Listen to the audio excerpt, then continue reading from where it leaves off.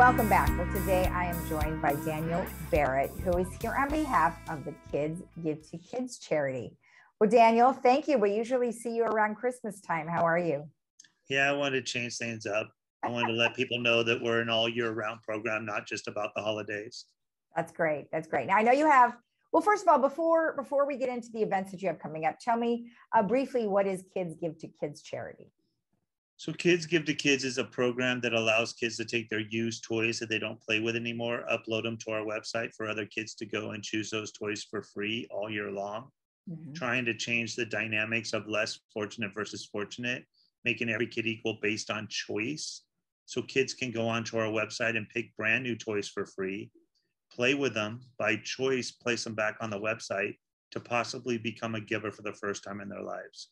Ah, you know, I like that. I've always been a big proponent of recycling, um, whatever it may be. And, you know, when you have, when, when you have, like you pass down toys to maybe another child and then they give it to their friends. I think that that's really a great way to go about things.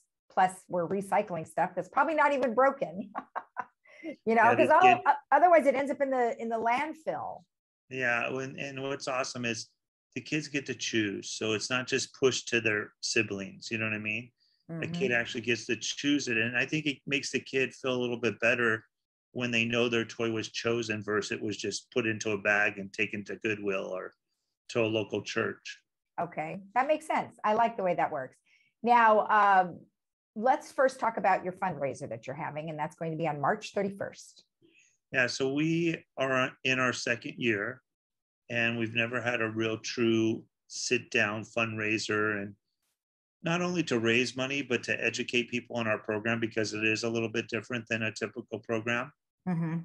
but march 31st we're having a, a, a nine course sit down dinner if you go to our website and click fundraiser 2022 gives you the complete information including the full menu and a little dialogue on you know more how our program works. Mm-hmm.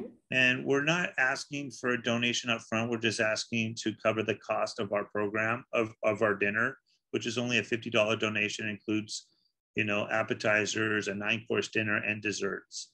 And it's also a great way to network. So if you're a business owner or a professional person that would just like to you know interact with more uh, people in their community then this would be a great way to actually even maybe do business you know, and and get new clients for their business because it will be a networking event. And where is it being held?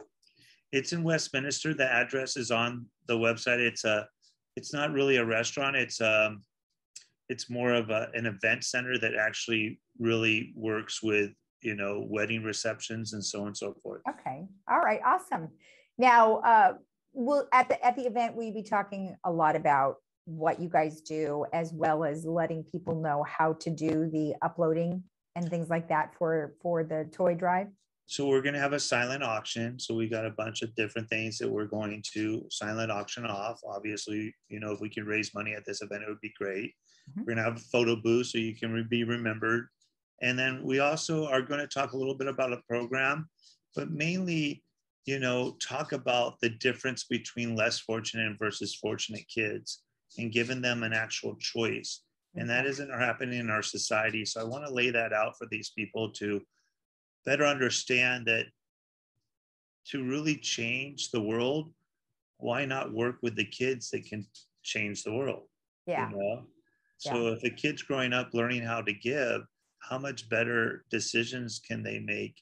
You know, if they're having choice, how much better choices are they going to make as they grow up? And that's well, hopes it also gives them a little control too, right? So I mean, they can choose. Well, it, gives them, it, gives them, control in a way that right now it's not happening in our society. Every right. nonprofit, which we need every nonprofit out there to help out, but primarily they just give and push, and the kids accept because it's better than nothing. Exactly. So when you talk about your program now, you said it's going to be year round. So before you were just doing it sort of a holiday. Why is it year round? Well, it actually has been year round the whole time. It's just that when we would have our interviews, it would be during the Christmas time, which would just assume that it was a Christmas time, you know, program. But yeah, the reason it's all year round is because life is all year round. You know, the world is all year round. Kids, you know, have birthdays. They have, you know, opportunities to earn a toy through their parents saying, "Hey, clean your room, get a new toy." You know, um, teaching kids doesn't stop. You know, it's a everyday scenario. Right. So if we can teach kids every day how to potentially give, and giving kids choice all year round, then that's going to change the dynamics of their lives. Yeah. And that's my goal with this program. It isn't everybody needs to understand that it's not the toys. The toys isn't the toys are just a vehicle in this program to teach kids how to give, right. teach kids how to have more confidence, teach kids how to recycle. Mm-hmm. I mean, we're just using the toy as the vehicle because I feel it's the only thing that these kids believe in their heart that they own. Okay. They, they believe they own their toys. So, how much greater value is it to a parent to have a kid come up and ask if he can give his toy away versus a parent saying and telling their kids they have to give their toys away? Right, right. You know, because so so our our viewers most likely have grandchildren and they have toys at home that they can certainly donate uh, what would you like them to do with those toys? So there's two real great possibilities for them to take advantage of. One is they can get their kids involved and their grandchildren involved to upload the toy onto the website. Once it's approved, the kids can go to the website and see their toy on the store. Okay. And then underneath in the notes, it says donated by that kid.